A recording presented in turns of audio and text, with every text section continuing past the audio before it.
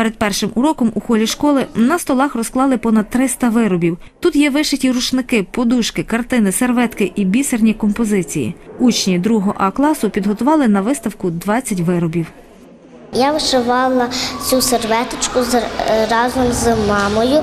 Мені сподобався е, цей кролик, і я, я, я вибирала кольори оці, і, і я допомагала мамі подавати е, бусинки, щоб, вона, е, щоб було скорше. Цей великодній рушник восьмикласниця Софія Дмитренко вишила власноруч. Я його вишивала, коли в мене була вільна хвилинка напродовж року.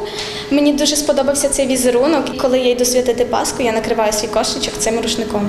Також дівчина принесла вишиту картину, яка, за її словами, з 19 століття. В моїй сім'ї здавна було прийнято, що жінки вишивали. Цю картину вишила ще моя прапрабабуся у 19 столітті. Вона переходить з покоління з покоління, адже це згадка про мою прапрабабусю. Цю вишивку я принесла до школи, адже я хотіла, щоб діти побачили стародавнє вишиття.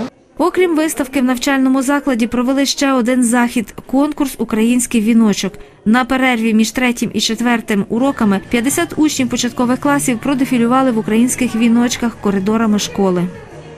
Хочемо сказати, що всі віночки, які були на дівочих головах, були неординарні, дуже творчо батьки підійшли до цього і дуже красиві. Всі учасники будуть нагороджені однаково, напевно, свідоцтвами і якимись такими незначними подаруночками. Світлана Лазорик, Юрій Багрій. Новини.